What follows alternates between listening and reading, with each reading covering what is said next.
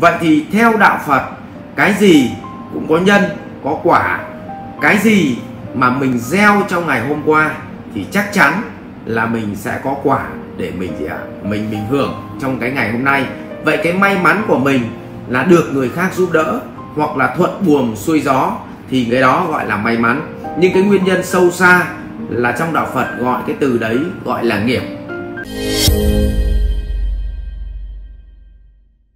À, thầy ơi thầy cho em hỏi may mắn và không may mắn trong đạo Phật có tồn tại không ạ? À? vâng thưa anh chắc chắn là tồn tại. Và đầu tiên để tồn tại hay không tồn tại thì chúng ta phải xem cái khái niệm may mắn đã. Tức là may mắn là gì? À, cái chữ may ở đây có nghĩa là người ta làm cái gì người ta cũng thuận. Ừ, người ta không gặp phải cái trở ngại vướng mắc gì hoặc là thậm chí nó còn tốt hơn là người ta còn gọi là gặp quý nhân phù trợ. Tức là họ đi đến đâu thì gặp khó khăn gì là còn có người giúp cơ. Chứ đừng nói là là là gặp cái trở ngại. Không những không gặp trở ngại, mà này còn được người khác giúp đỡ. Vậy thì theo đạo Phật, cái gì cũng có nhân, có quả. Cái gì mà mình gieo trong ngày hôm qua thì chắc chắn là mình sẽ có quả để mình gì ạ à? mình mình hưởng trong cái ngày hôm nay. Vậy cái may mắn của mình là được người khác giúp đỡ hoặc là thuận buồm xuôi gió thì cái đó gọi là may mắn.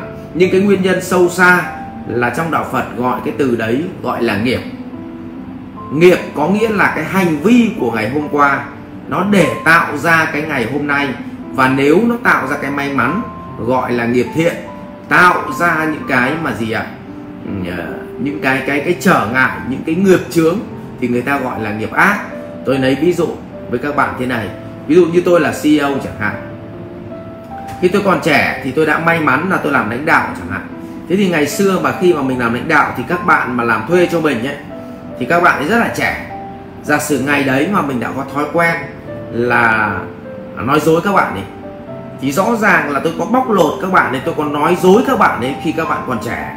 Thì tôi đồng ý là các bạn ấy không biết nhưng chắc chắn một điều khi các bạn trưởng thành thì các bạn ấy sẽ biết là ngày đấy là thằng Tuấn nó bóc lột mình. Vậy thì cái kim trong bọc lâu ngày thì nó cũng tòi ra. Vậy cái ngày hôm qua mà mình làm việc nó không được thiện lành, thì ngày hôm nay chúng ta sẽ, họ khi họ trưởng thành, họ sẽ nhận ra và họ sẽ gì ạ? Họ sẽ trả lại cho ta những cái thứ không tốt đẹp. Ừ. Tôi lấy ví dụ thế này thôi. Chúng ta cứ nghĩ là khi chúng ta rời công ty đi thì chúng ta nghĩ rằng là chúng ta hoàn toàn có thể nói xấu cái công ty mà ta nghỉ việc, ta rời đi. Nhưng bạn có tin rằng là tất cả các doanh nhân họ chơi với nhau trong một cái cộng đồng? Cái thế giới này nó rất là nhỏ bé, kiểu gì họ cũng sẽ gặp nhau. Rồi đùng một cái, họ phát hiện ra là ngày hôm qua nó làm thuê cho tôi đi ông ạ, và nó đi, nó đã nói xấu tôi. Vậy thì liệu bạn có tồn tại được bên kia không? Vậy thì khi ở bên kia họ đùng cái, họ cho bạn ờ, nhận một cái cháp thôi việc chẳng hạn. Thì đôi khi bạn cũng không hiểu chuyện gì nó xảy ra và bạn bảo là đời tôi không may mắn. Vậy thưa với bạn tóm lại có tồn tại sự may mắn. Và cái may mắn đấy chính là cái việc mà cái hành vi của bạn thiện lành ngày hôm qua nó sẽ tạo cho bạn cái may mắn ngày hôm nay. Và trong nhà Phật cái đấy gọi là nghiệp. Mỗi một hành vi tốt thì chúng ta gọi là nghiệp thiện nó dày lên. Và mỗi một hành vi mà gì ạ à, có tác hại cho những người xung quanh cướp đi những cái niềm vui, những cái cảm xúc, những cái giá trị của những người xung quanh để thành của mình, thì làm cho những người xung quanh họ buồn, thì cái đấy gọi là tích thêm nghiệp ác. Và nó càng ngày càng dày. Và nguyên tắc gieo nhân là phải gặp quả. Và nhân thì đủ duyên, nó sẽ gì ạ? Nó sẽ thành quả. Cho nên là có may mắn, thưa với bạn như vậy. Và chúc bạn nhận được cuộc sống may mắn. Và tóm lại, may mắn nó không tự dưng nó đến mà do chính mình hành vi của mình trong ngày hôm qua tạo cho mình may mắn ở ngày hôm nay. Rồi cảm ơn bạn. Chúc bạn hạnh phúc và may mắn.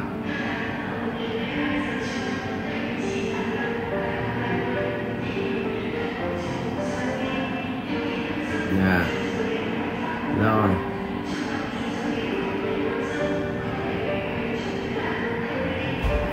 À, bạn Trương Phương có đặt câu hỏi Thầy ơi em muốn chuyển hướng quan tâm thì phải làm thế nào ạ? À? và cái gì nên quan tâm để đem lại lợi ích cho người khác ạ à? vâng ạ à. à, thực ra mà nói để mang lại lợi ích cho người khác thì nhất thiết không phải nhất thiết là bạn phải quan tâm cái gì mà quan trọng nhất là bạn có tâm thì chắc chắn bạn sẽ mang lại cái lợi ích cho người khác và tâm nó không nằm ở suy nghĩ của mình mà tâm nó nằm ở hành vi của mình.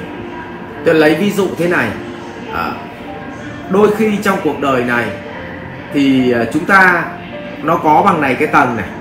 Cái tầng đầu tiên là cái tầng vật chất. Cái tầng ngoài cùng ấy mà chúng ta sống này này. Trong cái đời sống sinh hoạt của chúng ta thì cái tầng ngoài cùng mà chúng ta hay gặp phải đó là tầng vật chất vậy thì đôi khi chúng ta cho đi cho nhau một chút vật chất. Nó cũng là cái cách mà mang lại niềm vui cho người khác. Cái cách thứ hai là cái tầng thứ hai trong con người mình đó là tầng của ờ, cảm xúc. Vậy thì sáng ra chúng ta gặp nhau chúng ta tặng nhau một nụ cười. À, đến cơ quan chúng ta tặng nhau một nụ cười tặng nhau một câu hỏi một lời chào. Đó cũng chính là gì ạ? Đó cũng chính là sự quan tâm rồi chứ không phải có nghĩa là quan tâm là cứ phải xoắn con nhà bà xít lấy thì mới gọi là quan tâm. À, thì cái tầng đó nó người ta gọi là cái tầng gì ạ? Tầng cảm xúc. Mà nguyên tắc cảm xúc nó động vào gì ạ? Nó chạm vào điều khí. Nguyên tắc ngoài nhá vật chất xong đến cái tầng gì ạ? À, tầng của cảm xúc. Từ cảm xúc nó sinh ra khí. Tôi lấy ví dụ như là khi mà bạn hồi hộp là cái khí của bạn nó thở gì ạ. Nó sẽ gấp gáp à, khi mà bạn gì ạ bình tĩnh thì cái khí của bạn nó thở rất là đều. Và trong con người ta có hai phần khí và huyết.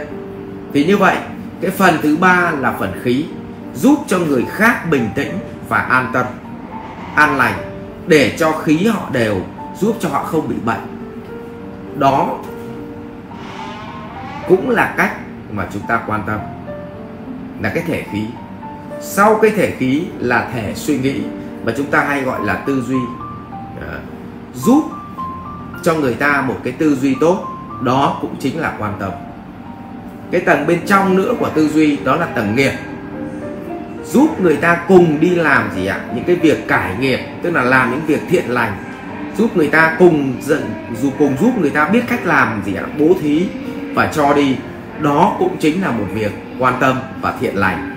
Ờ, và cuối cùng là cái tầng trong cùng của chúng ta chính là tầng tâm tầng tư tưởng. Dạy cho người ta bỏ đi những cái tham sân si mạn nghi. Đó cũng chính là việc quan tâm. Chứ quan tâm không có nghĩa là phải xoắn suýt là phải làm cái gì đó cụ thể thì chúng ta mới gọi là quan tâm. Vậy tôi nhắc lại chúng ta có 6 cái tầng để quan tâm. Tầng thấp nhất là tầng vòng ngoài ấy, các đại ca. Là cái tầng đấy là tầng vật chất. Thì khi chúng ta cho nhau vật chất thì cũng là một cách để quan tâm. Nhưng đa phần người đời thấy cái này là quan tâm số 1 này. Nhưng nên nhớ vật chất lại gì ạ? À, lại tác động lên cảm xúc. Và thường là gì ạ? Người ta cho nhau một cảm xúc tốt chứ không cần vật chất cũng rất là tuyệt vời. Vì vậy cho nhau một lời chào cho nhau một lời hỏi cho nhau một thái độ thân thiện cho nhau một cái nhìn yêu thương tạo ra một cái cảm xúc vui vẻ. Kể một câu chuyện cười hay khi họ đang buồn đấy cũng chính là một việc gì ạ à? quan tâm ừ. chứ bạn đừng nghĩ cái quan tâm nó là cái khỉ gió gì nó to tát nhé ừ. xong cái việc thứ ba là thể khí giúp cho người ta an tâm người ta nhịp nhàng người ta thở không làm cho người ta loạn nhịp lên à, thì cũng là một cách gì ạ à? quan tâm rồi tiếp theo giúp cho người ta gì ạ à? có cái suy nghĩ tốt tức là cái tầng này là tầng thứ thứ tư suy nghĩ tốt giúp cho người ta thay đổi tư duy, thì đấy cũng là quan tâm. Cái tầng tiếp theo là rủ người ta gì ạ? À? đi làm những việc thiện lành để cải nghiệp. Đấy cũng là quan tâm. Và cuối cùng, chia sẻ với người ta về tư tưởng để người ta bỏ được tham sân si mạn nghi. Đấy cũng là quan tâm. Và như vậy, chúng ta mới thấy là trong cái sáu cái vòng mà tôi kể ra, thì năm vòng ngoài người ta gọi là bố thí gì ạ? à? Cái vòng ngoài cùng vật chất người ta thường gọi là bố thí thực. À, bốn cái vòng tiếp theo thì người ta gọi là bố trí thí pháp. Và cuối cùng là cái tâm ấy thì là ba la mật. Đấy thì xin chia sẻ với mọi người như vậy để cho mọi người dễ hình dung về cái phương pháp quan tâm đến người khác. Và đặc biệt à, việc đầu tiên trước khi quan tâm thì chính là việc là bạn sống trong hiện tại.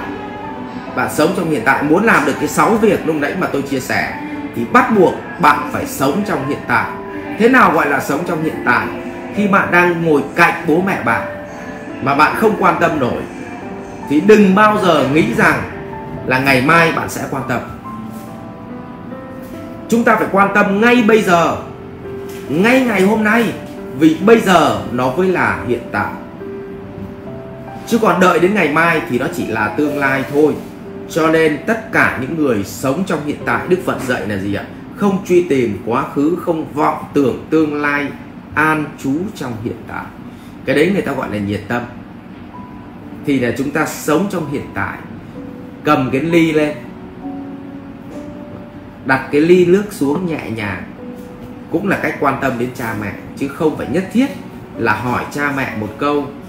Ờ, nhưng mà lại uống cái cốc nước đặt phịch một cái cha mẹ giật mình tưởng thằng này nó giận mình cái gì thì như vậy bản chất đấy là không quan tâm. Cho nên việc mà quan tâm thì có 6 cái tầng để quan tâm và muốn quan tâm được phải sống trong hiện tại. Và đừng bao giờ uh, là chúng ta gì ạ kỳ vọng ở tương lai cả mà hãy an trú ngay trong hiện tại này.